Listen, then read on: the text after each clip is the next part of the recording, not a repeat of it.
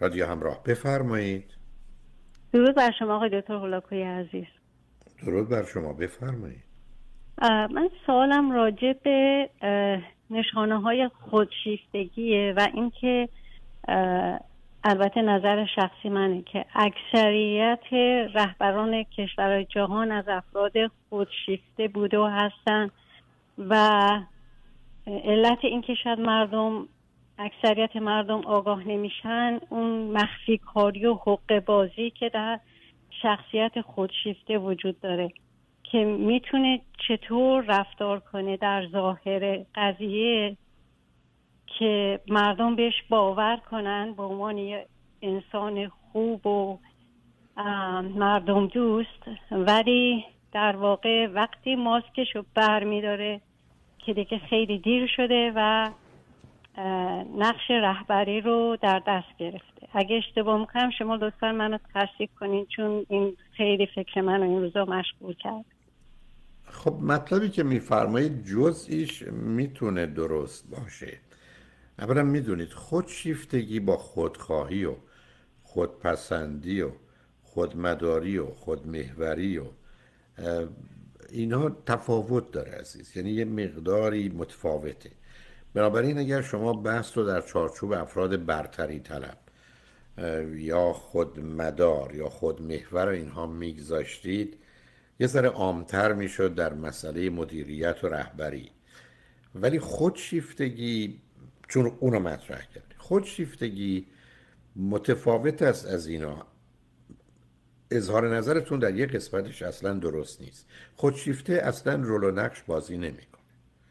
خودشیفته اتفاقا از طریق پررویی و زورگویی و حمله و انتقاد و اعتراض و ساکت کردن نظر مختلف و مخالف و از مانورایی برای تخریب کسانی که سر راهش هستند و استفاده از قدرت حرکت می‌کنه. بنابراین وقتی شما با خودشیفتگان روبرو میشید اینا کسانی هستند که ظاهر رو حفظ کنند به نظر خودشون رو خوب و مهربون و مواظب و مراقب نشون بدن. ممکنه نسبت به موضوعی خاصی برخی از اوقات به صورت افراطی جانبداری کنند ولی این چنین نیستند. خودشیفته توانایی رول و نقش رو نداره. خودشیفته حرفش اینه که چون آنچه که من فکر می‌کنم حس و احساس می‌کنم واقعیت یا باید واقعیت بشه یا باشه از اونجایی که من تعیین کننده و حتی مدار و محورم پس بنابراین نگاه و نظر من درسته. از اونجایی که من هیچ کس برم مهم نیست و به همجاست که نقطه ضعف نداره. خانوادم فرزندانم عزیزانم حتی اگر چون مسائل سیاسی من کشورم ابدا. کشور من با خاک نابود شد شد. ملتی که من جزش هستم. از بین رفتن رفت نگرفتن موضوع و مسئله منم بنابراین مسئله پیچیده تر از این است. یه ترکیبی هست. بعدم برمیگرده به رهبری چه نوعی از جامعه؟ رهبری که در سیستم های ریاستی هست. که یعنی ریاست جمهور قدرت فوق العاده داره. متفاوت است با رهبری که فرد در سیستم های پارلمانی داره و یه جایگاه بیشتر تشریفاتی داره. بعد برمیگرده به چه مرحله ای از رشد اقتصادی است؟ آیا کشور در حال توسعه است؟ آیا توسعه یافته است؟ آیا جزء کشورهای پیشرفته جهانه؟ آیا سیستمی که در اونجاست مخصوصا از نظر نهاد سیاسی و به ویژه احزاب سیستم بیهزبیه یه حزبیه؟ دو حزبیه چند حزبی که نقش دارن نه چند حزبی نمایشیه. بنابراین شما به من بگید که رهبران بیشترشون زمینه خودخواهی و خودپرستی و خودپسندی و خودشیفتگی دارند. اون رو می‌تونم بفهمم در مقام مقایسه با مهرطلبی یا عزلت طلبی برای که اون تیپ به دنبال هدایت و رهبری و مدیریت و اینها نیست. او حتی نقشی هم که بهش بدید رو نمیپذیره. ولی این تقسیم بندی مثل این میونه که شما برگردید بگید مثلا افرادی که تو اداره پلیس میرن پلیس میشن یا میرن تو ارتش. یه ویژگاهی روانی خاصی دارن حرف درستیه. اینکه در صحنه سیاسته. بعدم برمیگرده به سیاست کجا؟ شما فرض کنید سیاست کشورهای اروپایی رو برید. مفهوم قدرتش در مفهوم اعمال باورها و اعتقاداته. یعنی اگر کسی در فرانسه یا آلمان یا در سوئد یا نروژ یا دانمارک یا فنلاند می‌خواد مقامی داشته باشه برای این شغل رو انتخاب کرده و براش تلاش می‌کنه. ولی مفهوم حتی قدرت یا اقتدار یا آتوریتی در چارچوب قانون براش تعریف شده است. در حالی که بسیاری از خود در برخی از کشورها من فقط می‌خوام به قدرت برسم که همه قوانین رو زیر پا بذارم و بگم قانون منه. بله. و بنابراین نوع دیگری از افراد رو برای یه چنین مقامی میطلبه. بنابراین اگر شما من بفرمایید که فرض بفرمایید در چین یا در آسیا یا در روسیه یا در اروپا یا در امریکا رهبری چه ویژگیهایی داره کمی با هم متفاوتن. و به همین که حتی انواع نه تنها حالشون برگردیم به پنجاه صد سال گذشته هم می‌تونیم اون رو ببینیم. نظرتون در کلیتش درسته. یعنی بیشتر رهبران و مدیران زمینه خود ناپسندی اگر دارن به خودپسندی تبدیل شده خود دوست نیستند. و بنابراین دیگران رو هم دوست ندارن بنابراین تو اون چارچوب خودمدار و خودمحور و خودشیفته قرار می‌گیرن ولی اینکه کدام نوع در کدام کشور در چه مرحله ای از رشد اقتصادی سیاسی اوضاع کمی متفاوت. یه سال دیگه دارم فرصت هست. راجع به همین خودشیفتگی. بفرمایید.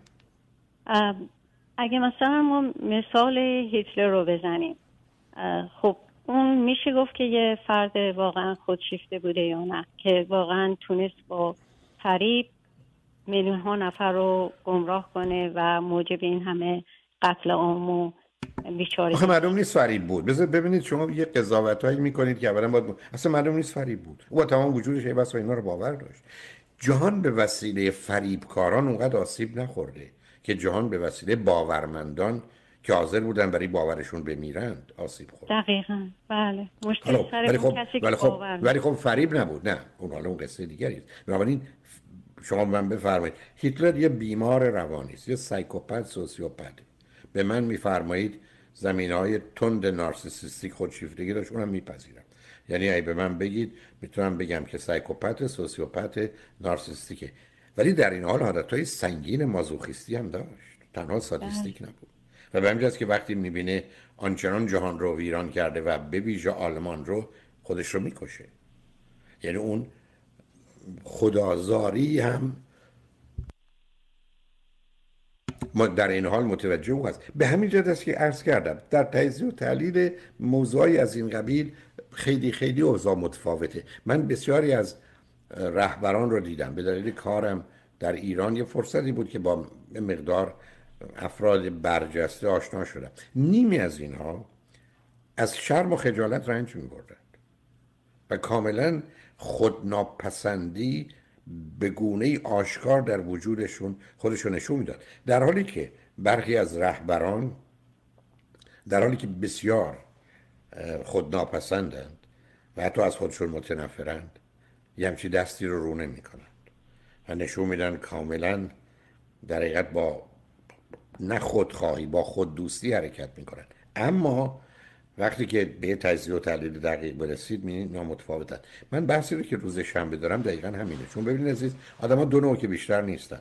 مردمان یا خود دوستند یا خود ناپسند.